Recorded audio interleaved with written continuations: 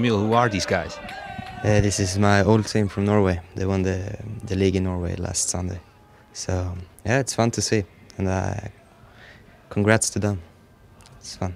When did you hear that they uh, they are the new champions in Norway? I was looking at the TV, so so I knew when they were champion. yeah So you are a little bit champion yourself now, also. Uh, in Beche. Yeah, I'm. Um, uh, I have played uh, eight or nine games, I think, before I went to Groningen. So I hope I get a medal. I don't know. Did you already have contact with the former players and maybe the coach? Yeah, I talked to the coach and uh, to the players, and congrats to them. Well, we thought, well, we have a little champion ourselves now here in Groningen. So we brought you something. I'm going to get it now.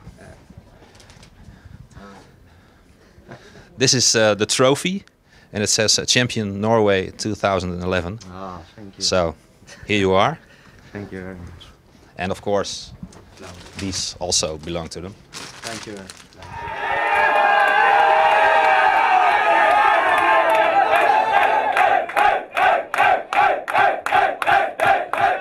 Molde is um, we got a new coach this year.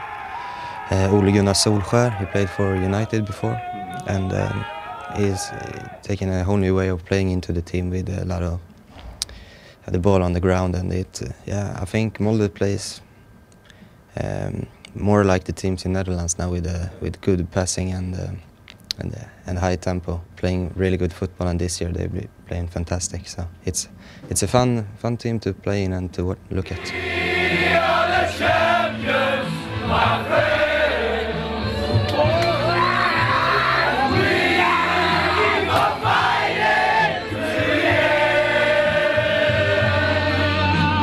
Big surprise that they are the new champions in Norway? Because Rosenborg was always a champion.